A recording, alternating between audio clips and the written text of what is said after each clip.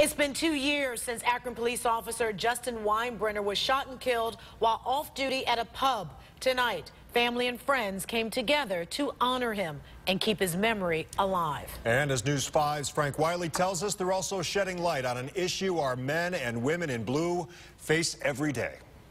An anniversary that no one is proud of, a celebration of life two years in the making. But it was death that brought everyone together. Memories have his name written all over. A shirt, a picture, a child. This is Charlee, C-H-A-R-L-E-E, Charlee. This is Justin's daughter, my granddaughter. Celebration eclipses gloom in their hearts. Most of the last two years has seemed like night. Every day's a hard day, but what makes me move forward is that you know I can be a proud dad. There's no easy way to get through things. An angry customer brought Tiffany Miller and everyone else together. Keenan Ivory got kicked out of this pub. He returned with a gun. Off-duty Akron officer Justin Winebrenner took the bullet that took him away. I wish we didn't have to do this. I wish none of these people had to come and take time out of their day to be here. The future almost happened here, his hand in hers. She can't let go.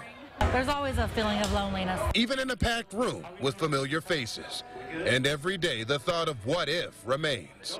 This past June.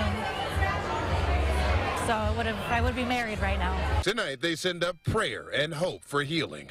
The only light that shines in darkness. In Akron, Frank Wiley, News 5.